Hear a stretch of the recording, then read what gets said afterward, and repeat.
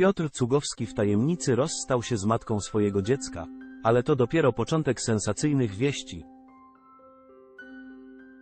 Piotr Cugowski, 43 litry, goszcząc niedawno w studio Jaka to Melodia pozdrowił na wizji swoją narzeczoną. Jak ustalili dziennikarze Pudelka, wcale nie doszło do żadnego przejęzyczenia.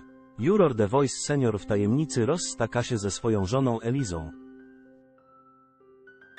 Co ciekawe, Cugowski jest już w kolejnym związku. Portal poinformował, kim jest nowa narzeczona Piotra. Ciekawostką jest fakt, że już wcześniej znała się z Elizą. Piotr Cugowski i Eliza Tokarczyk wzięli ślub w październiku 2008 roku, a parą byli już od 2000 roku.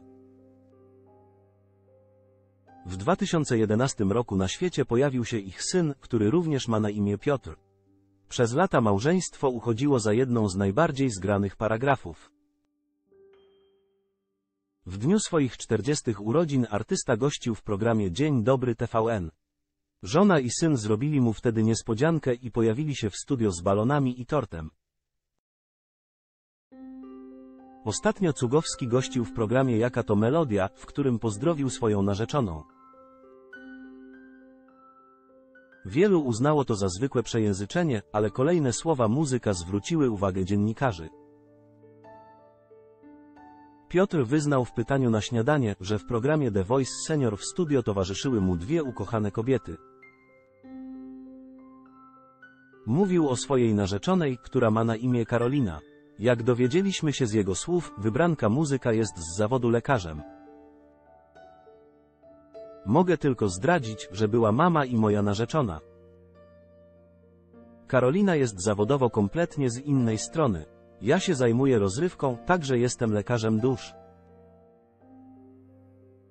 A ona jest lekarzem ciała, bo jest bardzo wykwalifikowanym lekarzem internistą i nefrologiem, chwalił się Cugowski w śniadaniówce. Nie sposób nie zauważyć, że nie mówił o swojej żonie Elizie. Muzyk nie zdradził jednak, czy jest już po formalnym rozwodzie. Dziennikarze Pudelka ustalili nawet, że nowa narzeczona Cugowskiego zna się z jego byłą żoną od co najmniej dwóch lat. Panie miały przyjemność ze sobą współpracować. Co ciekawe, obecna partnerka Cugowskiego z pewnością zna jego byłą żonę Elizę. Obie chętnie udzielały się charytatywnie w Lublinie.